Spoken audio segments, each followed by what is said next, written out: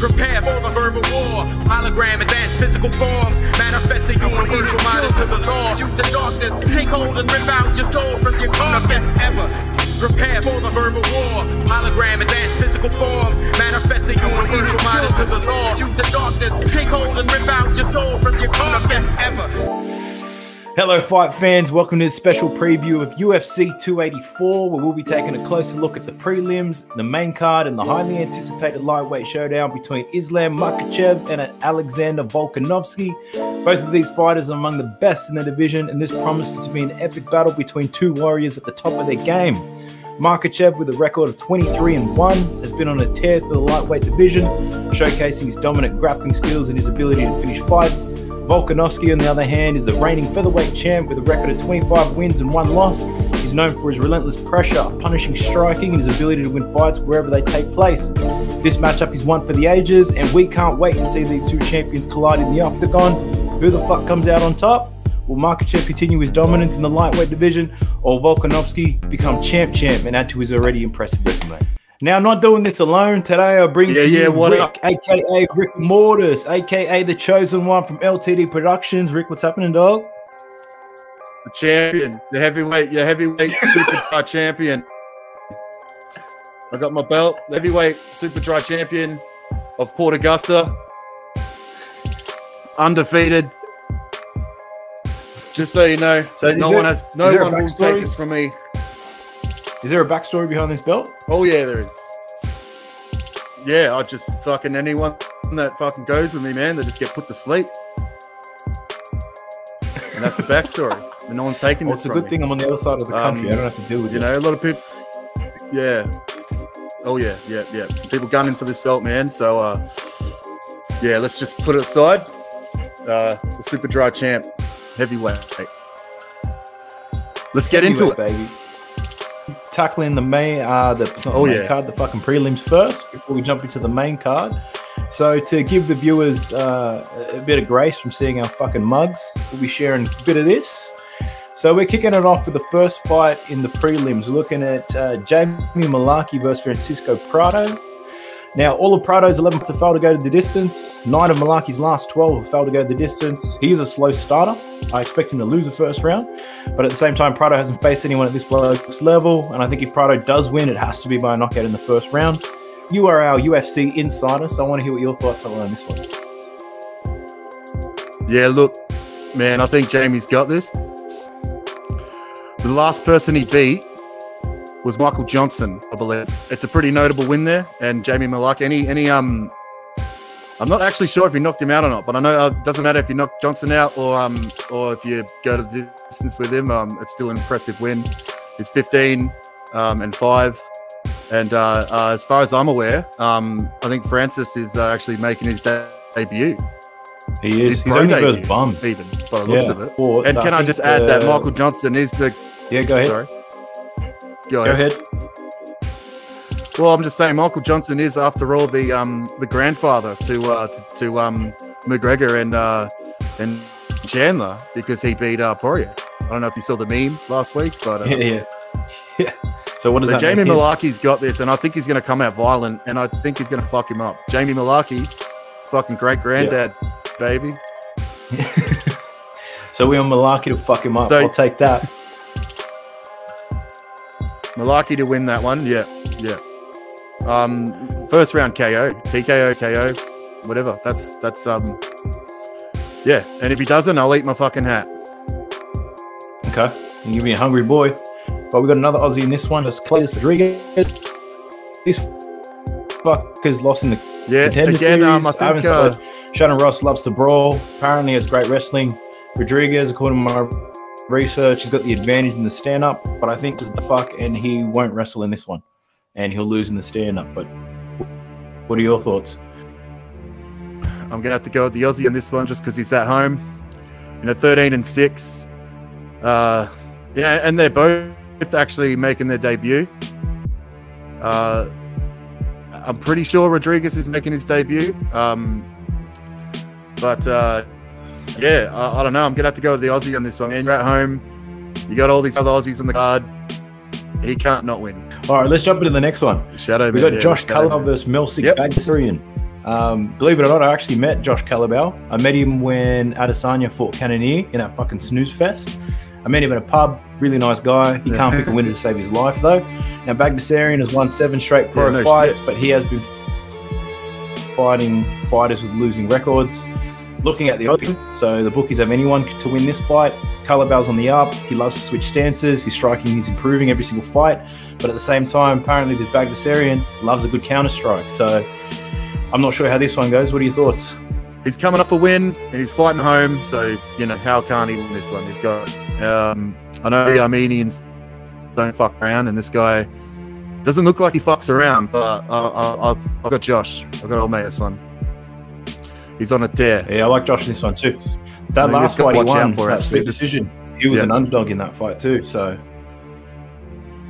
Yes, yep, yep. That's right. now the, let's jump into the next one. We're looking at Tyson Pedro versus Modestas Oh, yeah. Bukaki. Oh, Bukakis. This one, Now, um, fucking a rousing matchup here. Pedro, dollar thirty.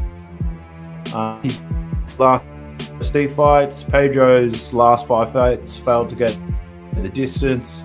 Uh, he's got a clear advantage on the ground, but he hasn't had to use his grappling since he's come back from injury. Uh, a bit here. Pedro's a heavy favourite. You think he brings it home? uh, man, look, Pedro is.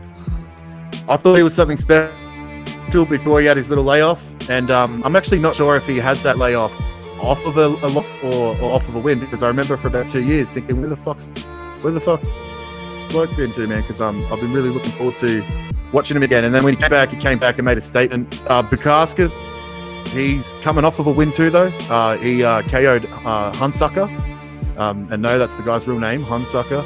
Uh, in the um in the first round actually coming off of the first round KO uh very dangerous guy very good fight for Pedro um and I think this is the uh this is the fight for him the uh the one that puts him on the uh on the main card going forward because um this guy's a superstar and he ain't fucking around he's he's coming to take heads and He's not fucking around and, at all.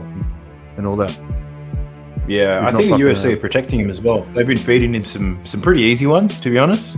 So I think he's if the UFC want you to be Pedro. successful, they'll make you successful. Yeah. Since he's come back from injury, he's had some pretty yes, easy ones. yeah well you know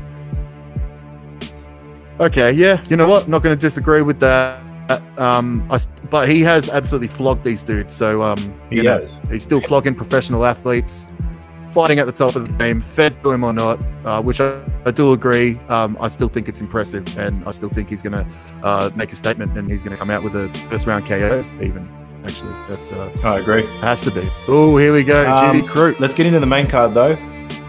Got Jim, Jimmy Crute versus Alonzo Menifield. Now Menifield's won four of his last fight, five. He's won his last two fights by first round KOs. Uh, seven straight Crute fights have failed to go the distance. He has lost two straight fights though. His last win was two years ago. Um, he is the favorite in this one. I think he's got the wrestling advantage, but Menifield probably a bit more dangerous on his feet. Fight can go either way in my eyes. I think it depends on if Menifield can stuff those takedowns. He's got a good chance, but what do you think? Home home crowd advantage here, Jimmy Crute to get him over? Another fight of the night, maybe? Well, um, look. So Jimmy Crute was on a tear. Uh, His first few fights, he was absolutely murking dudes, and he was taking them to the ground and just just beating them to a pulp. Um, and then you know he got the knockout bug, and he started starting fights on the feet. And uh, by the Mm. time he was you know ready to implement his game, his ground game probably took a bit too much damage, and um and and he done fucked up. But uh, um, he's had a long time to sort of come at this, and, and I think he's going to use his ground game against this guy. He's coming off a first round KO, I believe. Um, Yeah.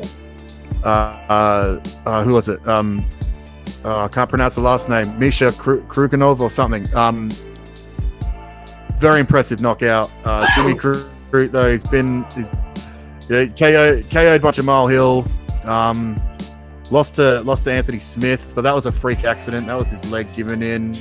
Actually, right after that, right after that fight is when Weidman snapped his shin in half by uh, Yeah, yeah. Uh, Uriah Hall. ch- Checked that kick, and Yeah. he um yeah, that actually happened on the same card uh, right after that fight. But it was two freak accidents back to back. You know that uh, you know that um that injury uh, it uh, when people think that you kick that part in your knee, the, the old meniscus and then you get that stank leg and fall back. It happened to Sean O'Malley. Um, that the same as Conor? it even happened to uh, at one point.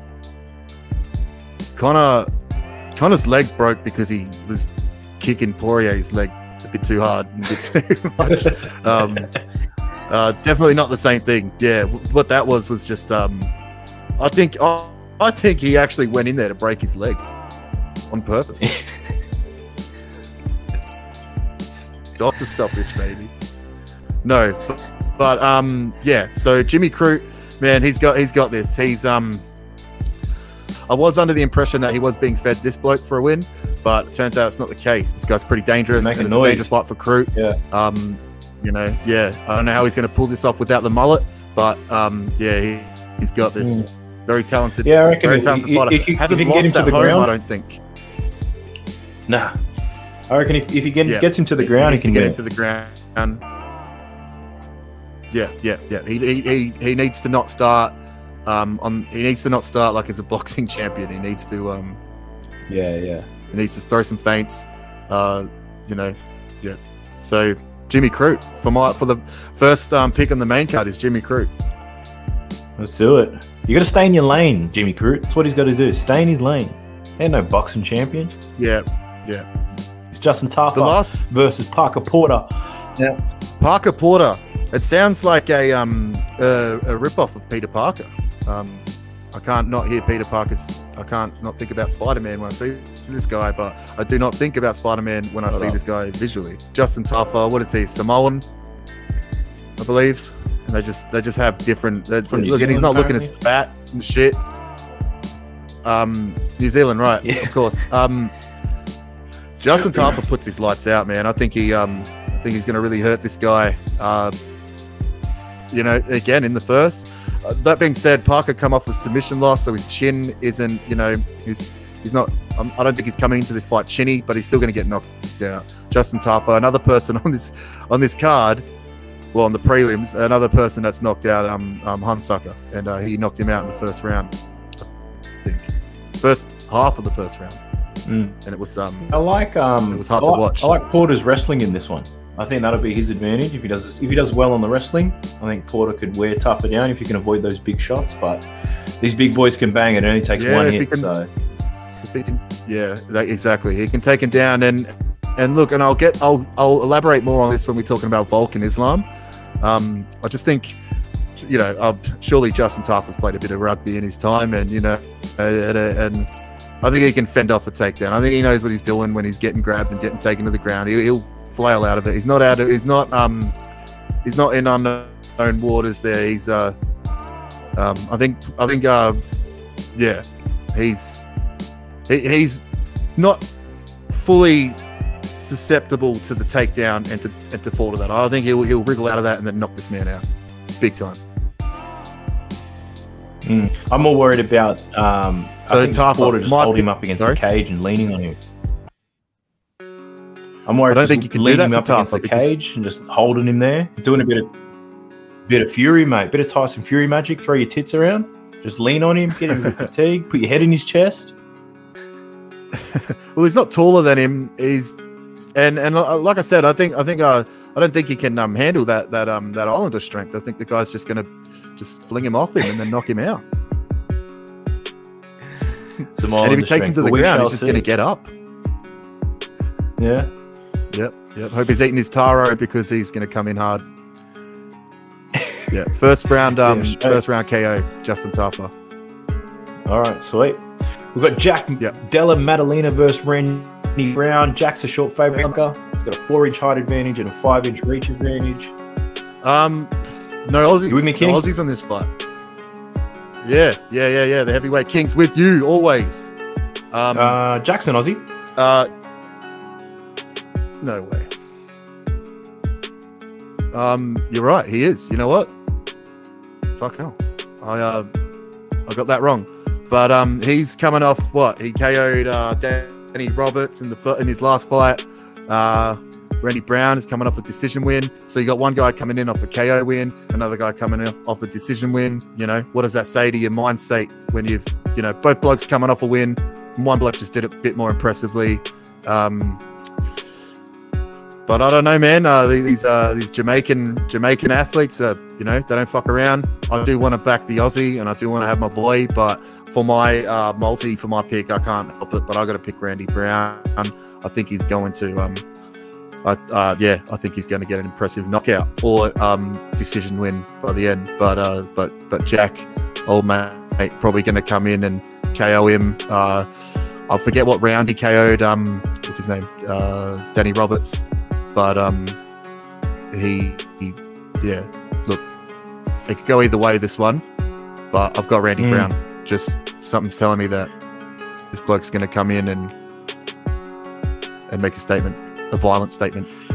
But then again, Jack Violent Diller's statement. at home ground, coming off a knockout win, and uh, yeah, he's also coming to make a violent statement. So, but yeah, but it's it's a hard pick. This one, it could go um, it could go either way. But Randy Brown's my pick. Yeah, uh, and I wouldn't back against you there because there's a a few fights where it is a What about you? of pick 'em in your mind. It could go anyway, but the odds are way too short for Jack. Like you're not getting much value in that. So if it really is a pick 'em, you tend to lead to the underdog, which is Randy. Brown, and there's great odds there. He's just a long motherfucker. The, those, I think in these front kicks, but even the ground game of his, Yeah. he's long as a motherfucker. Um, but at the same time, Jack's probably one of the most hyped up fighters outside of the top 15. So I don't know. It's gonna, it's going to be a good fight. Is all I can say. It's you know, yeah, it's going to be a good one. This one, uh, it's just it's almost a David and Goliath fight. This guy's uh, quite a bit taller and quite a bit longer than him, and uh, mm, you know, he's either going to come through with a big old overhand and catch him, or this bloke's going to just you know, big front kick up, kick up the chin. Yeah. Maybe a turns him into flying knee. Pez dispenser. Flying knee, All eh? right. Oh, I wouldn't mind a fly. Oh yeah, yeah. Yair Rodriguez versus Josh Emmett. Now Rodriguez, his kicks are fucking mental. He's fast, got knockout power. He switches stances, knees, front kicks. Emmett cuts off the cage really well, but I think his path to victory is on the ground, or it's a fucking big overhand. Uh, how do you think this fight goes? What happens here? Man, yeah, Rodriguez is is uh he's really good, but Josh Emmett is is uh he's he's on a tear, man. He's absolutely been murking people. Um, what was it? Like he won against K- Kattar, Kattar. Didn't knock him out, but I mean, who's going to knock Kattar out? Max Holloway belted his head around for five rounds. The guy didn't go to sleep. Although Max Holloway doesn't exactly have the most knockout power. I said it. Um, look, I think Josh Emmett is going to um, steamroll, yeah, just like he's been doing other people. Um, maybe a decision win. Uh, but yeah, Rodriguez actually has a pretty good gas tank. I don't know if you remember the uh, the last, literally the last second TKO, no KO he got against the Korean Zombie with that um with that elbow. Uh, I don't know if did, yeah. At, uh, so the guys, the guy can knock you out at, any point in the fight. Literally at the last second, he can knock you out. Again, I don't know. Josh Emmett is just he's been on an absolute tear, and the guy's an animal, a filthy, filthy animal. He's going to come through and yeah, he's. Uh, I think he's this. He's on a title run, man, and, and he's going to be fighting for a. I don't know if he's going to win or not, but he's going to be fighting for a title because uh, you know I he'll have to fight Volk for that title, and uh, you know, yeah, yeah, yeah. You can't you can't count these guys out. They're um they got they you know they, they've got a lot more to lose. They've had a lot more to think about. They're um. But again, yeah, yeah, is really good. But he is coming off a um a win against uh, Ortega. Um, Mm. but that win, I don't know. Do- not. So I think Ortega would have beat him if he didn't get that uh, freak elbow or shoulder injury or something. You know, not a very impressive win. Whereas Josh Emmett has just been fucking people up. Well, they're both fucking savages. Who Josh Emmett's wins? my pick for this one. So- Josh Emmett. Josh Emmett, definitely. Um, maybe not by KO, but definitely by decision. Yeah. Well, he does have a great gas tank as well. So he'll push and push and push. This is a five rounder, I assume, right? So he'll just keep going and going. Oh and yeah, it's for the interim title. Yes, it is. It is a five rounder. Um, and again, yeah, Rodriguez knocked the uh, knocked Korean Zombie out in the last second of a five round fight. I'm Let's get into the decision win for Josh Emmett. Okay.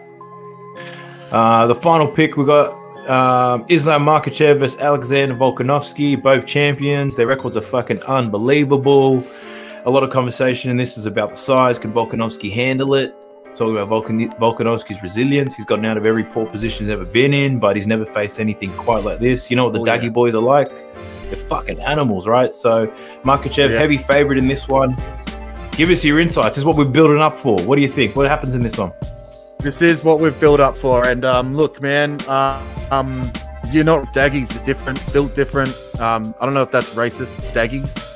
You know, maybe I'll just say Dagestanis. That's what Israel calls but them. These, So these Dagestani folks. Israel calls them Daggies. Well, fuck Yep, me, they call boys. Daggies then. Um, look, look, man. Um, he, uh, that that early. I remember waking up three in the morning to go watch him fight Oliveira. Um, my gut was in knots, man. I couldn't I couldn't wait for that fight.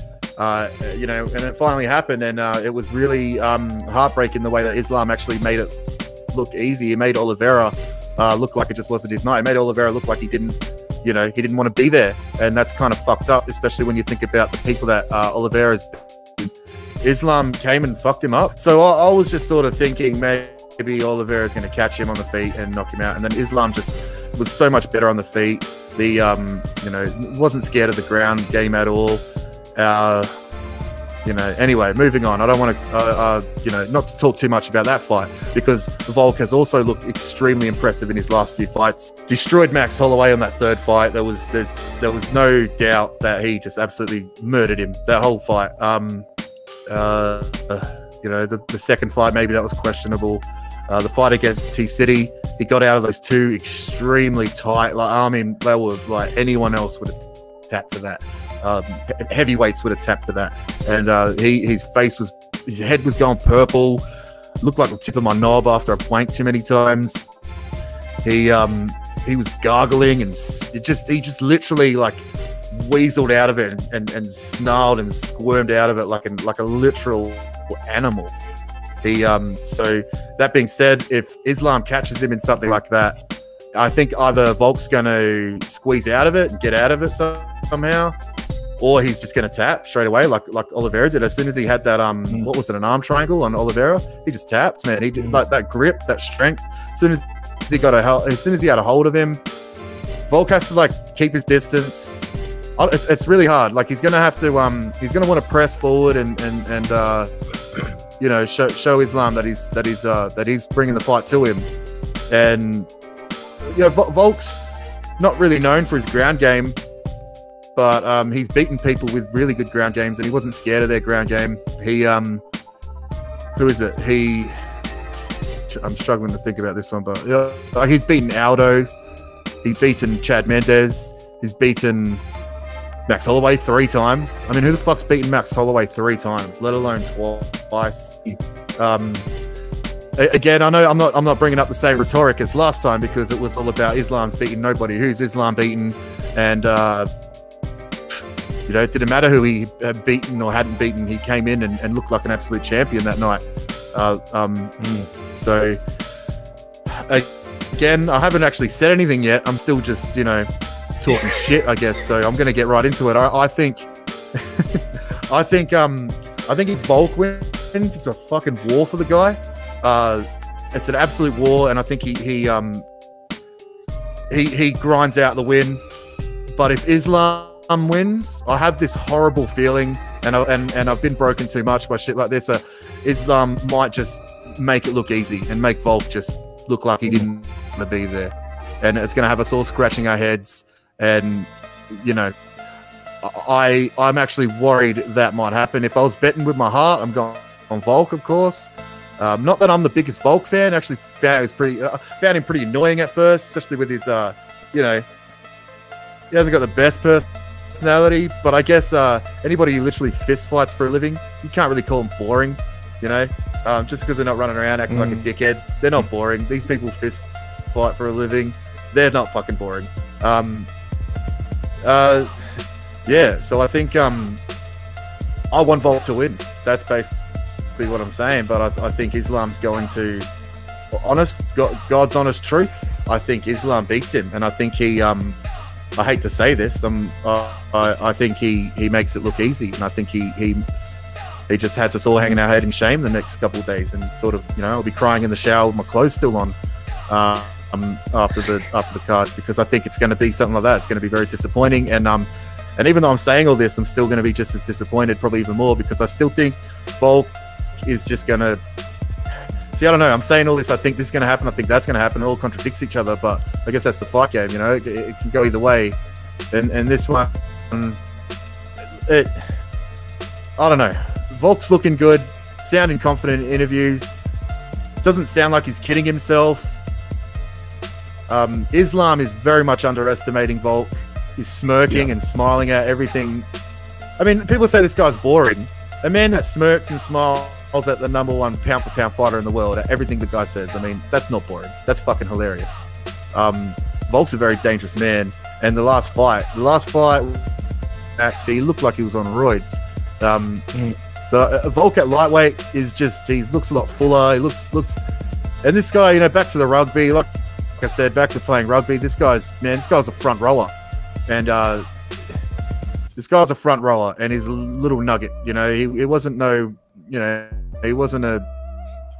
He wasn't out in the wing or anything like that. He was right in the middle, tackling, and he played rugby in Sydney. He's he's versus big Islander blokes. He's probably he's probably the only fucking dude on his team, um, and he's so that rugby strength is, you know, it's unreal. It's un, it's uh. So I don't know if I made it a lick of sense just now, but I'm going Volk just because you got to go with your heart. I mean, we're here for the game, not the multi, as the ad says. Uh, but I do have this horrible, horrible feeling that, uh, you know, like I said, the Dagestanis, man, especially, especially, um, you know, father's plan, man, he's going to come out and he's going to get a hold of him and, and um, it's going to be interesting to see the look on Volk's face the first time they make physical contact, whatever that is. If they come in with a little exchange, a little bit of a, a little bit of a clinch, and then he's going to push out. Um, I think Volk's. I don't know. I think um, I think Volk's going to rethink his whole game plan uh, after that. Uh, who wouldn't? I mean, the guy's just incredibly strong. What do you think? Uh, very similar to you in the fact that I want Volk to win. Um, I do agree Islam is he's underestimating him. I think Volk's preparation will be great. He's actually prepared to go to the ground.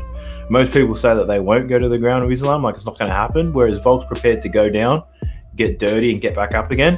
I think I hope he that's where he's a bit overconfident. I don't think you can get back up. It's going to be hard as fuck to get up again after this guy takes you down. So I'm hoping Volk keeps it on his feet as much as Yeah. he can. If he does get taken down, hopefully it's late in the round because I don't see him bouncing back up. So that, that- that's the risk for me. I, I want it to go to No. rounds four and five. Islam hasn't had many five rounders, so that is in Volk's advantage because we know that these Dougie boys can wrestle all day. So yeah, look, I think Makhachev will win. I don't want him to. I want to see Yeah. a Volk win by decision, or even a knockout would be better. But at the same time, he's moving up in weight. How often you see him knocking knocking people out when they move up? So yeah, I'm just I'm hoping I'm not disappointed. Yeah. I hope it's entertaining as fuck. I hope it goes the distance.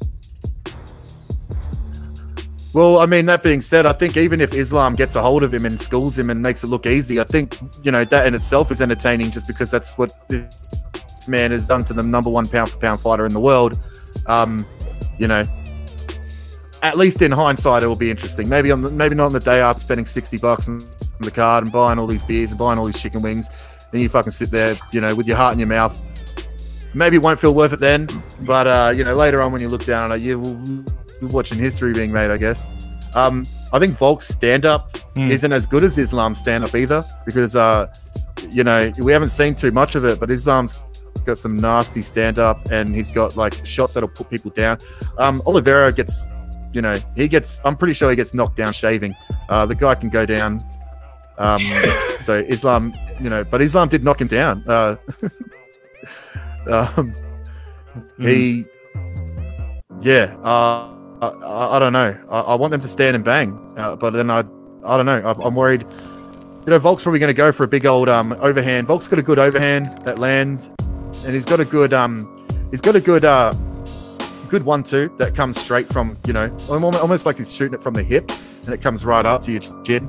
Um, but I don't know, man. Islam, I've got the fight you as well. Uh, he's definitely, you know, he's been fighting longer than Volk. Volk's played rugby most of his. Well, Volk played rugby then fought, but again, Volk's got. I wouldn't exactly say Volk's got a lot of flight IQ. He's just tough, and he's just um, a fucking little animal.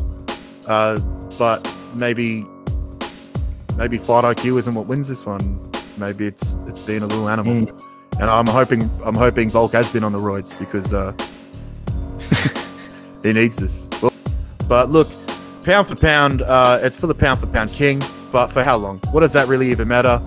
Because Jon Jones is coming back later in the year. And if Jon Jones come comes back and beats Ciryl Gane, then how can you not put Jon Jones at uh, pound for pound king? So and Islam ain't going up to fight Jon Jones. So he'll be the pound. If Islam wins, he'll be the pound for pound king for a couple of months, and uh, you know all this nonsense will be put to put to rest. But for now, it is the pound for pound number one versus the pound for pound number two, and man, that's crazy. That's like unheard of. It's, it's uh, these two men in their prime, and uh, you know Volk's been on a on a tear. Man, he can't can't lose. He lost once when he was like fighting in fucking I don't know, like fucking.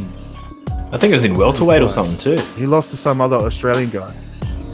Yeah, it was that welterweight, and it was in like um like Campbelltown or something, or fucking like like somewhere near Wollongong, or you know, it was in the back ass of nowhere, and he shouldn't. I don't even know how that counted on his pro record, but it is what it is. And then Islam lost to a guy that you know went on to not really achieve too much.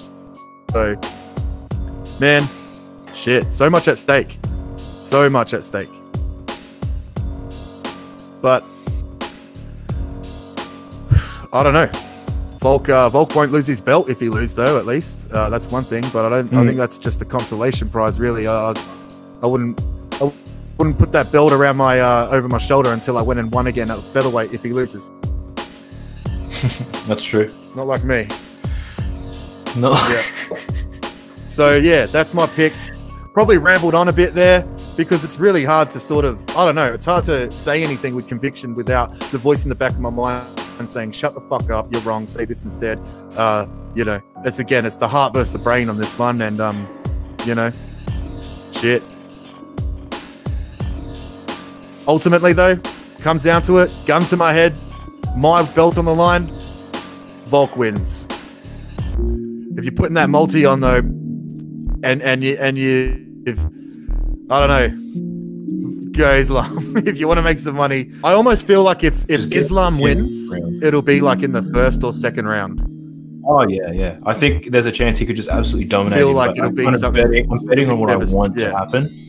What I want to happen. So if Vulcan gets to round, if Volk gets to round four, whether he loses or not, you know, I'm happy for what he's done, and my bet also wins.